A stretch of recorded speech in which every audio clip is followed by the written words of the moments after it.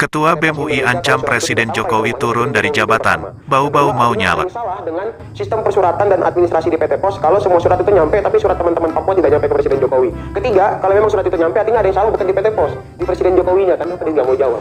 Sebenarnya surat ini adalah upaya kita untuk menilai apakah Presiden Jokowi masih punya itikat baik untuk mendengarkan suara masyarakat. Gitu. Jadi kalau memang surat ini yang adalah upaya pertama kita ini tidak direspon, artinya dia sudah tidak punya itikat baik untuk kemudian mendengar suara masyarakat. Barulah kemudian kita akan kerahkan massa, kita akan layangkan penolakan yang luar biasa besar, kita akan bikin gerakan-gerakan yang tidak pernah Presiden Jokowi lihat sebelumnya gitu. Jadi sebenarnya surat ini bukan berarti kita kekurangan massa atau bukan bukan berarti juga kita sedang lesu, meredup dan lain sebagainya bukan. Tapi surat ini adalah upaya pertama kita untuk meninjau apakah ada itikat baik dari kekuasaan untuk menjawab suara-suara masyarakat. Kalau tidak ada, baru gerakannya akan 2, 3, 4 kali lebih besar dari tahun-tahun sebelumnya. punya nama besar di Indonesia memiliki BEM-nya seperti ini memalukan banget ya UI ya memiliki BEM-nya kalian sok ngancem Jokowi kalian nggak mikir ya? Yang kalian lakukan ini justru suatu kebodohan dan kegoblokan buat saya. Kalian mau kayak mahasiswa 98 ya pengen dianggap diakui kayak mahasiswa 98 woi ngaca ngaca BEM UI yang satu hal yang harus kalian ingat ya. Mahasiswa 98 di, saat menurunkan rezim Orde Baru mereka didukung penuh oleh rakyat Indonesia. Sementara kalian banyak bacot teriak-teriak ngancem Jokowi. Yang mendukung kalian siapa? Tunjukin deh kekuatan kalian, tunjukin kemampuan kalian yang katanya sudah ada dari kaum buruhnya, NGO apa dan segala macam. Tunjukin sama seperti Sengkuni Amin Rais, Murdo, Denny Indrayana itu semua saya tantangin.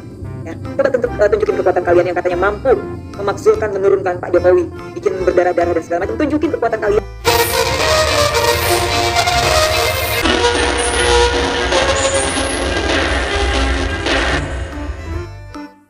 Ketua BEM UI Melki Sedek Huang mengancam Presiden Jokowi untuk turun jabatan sebagai kepala negara dan kepala pemerintahan. Ketua BEM UI menawarkan dua cara kepada Presiden Jokowi, baik secara baik-baik atau dengan berdarah-darah, ini si Edan namanya. Salah satu warganet yang mengaku ex-mahasiswa tahun 1998 yang ikut menjungkalkan Soeharto dari jabatan presiden pun ikut bereaksi atas wacana menurunkan Presiden Jokowi yang disampaikan BEM UI. Bahkan, dirinya dengan tegas menantang BEM UI apakah benar-benar berani menurunkan Presiden Jokowi dari jabatannya. Jika BEM UI berani melakukan makar terhadap Presiden Jokowi, maka dirinya mengaku siap berhadapan dengan pihak mahasiswa alma mater kuning tersebut.